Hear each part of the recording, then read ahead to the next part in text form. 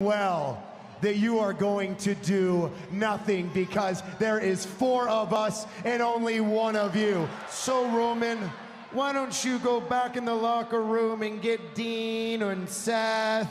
Because by the looks of it, the rumors of the Shield reuniting are exactly what you are nothing but hype.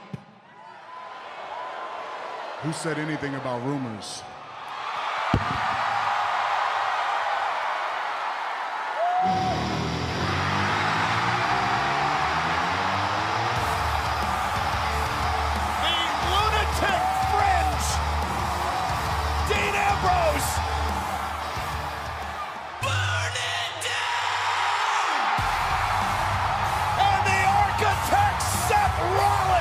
This is surreal. This can't be happening.